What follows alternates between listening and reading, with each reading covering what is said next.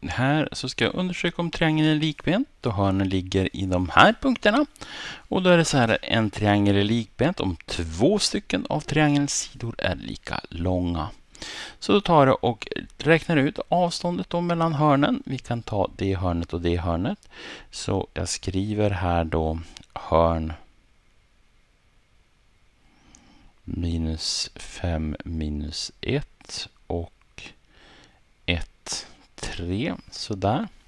Så får jag avstånd 1 är lika med eh, det är min punkt 2 det är min punkt 1. Så då blir den minus den. 3 minus minus 1 i kvadrat.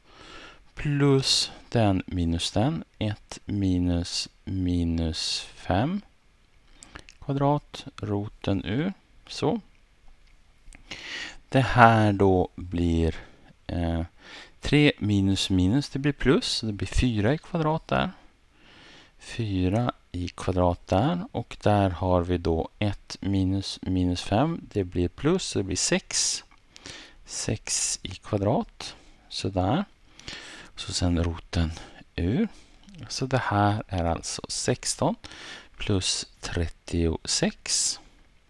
Så 6 plus 6 är 12. Eh, det blir 42, 52.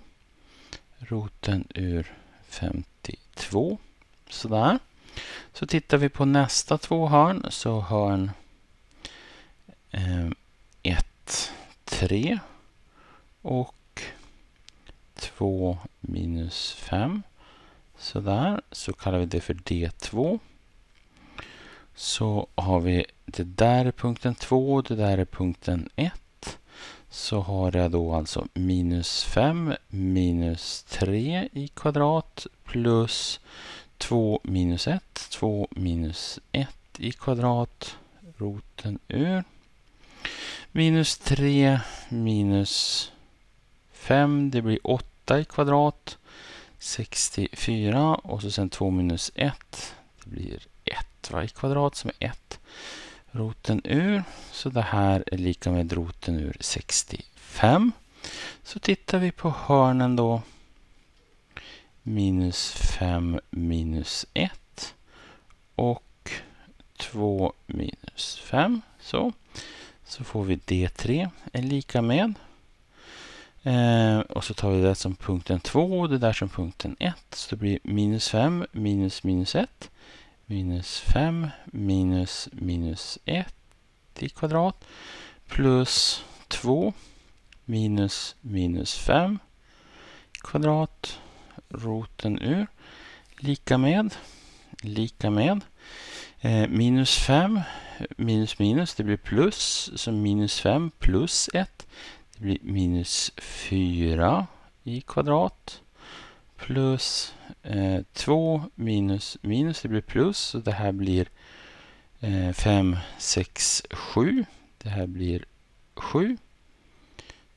Eh, 7 i kvadrat. Sådär. Så ska vi ha roten ur. Eh, minus 4 i kvadrat, det är 16. Plus 4 i kvadrat, det är 40. 49. Så roten ur. 49 plus 16, 49, det blir 59, det blir 65. 65 roten ur. Så eftersom D2 är lika med D3 så är triangeln lik bent Så svar Ja, triangeln är likbent. Förklaring se ovan. Så.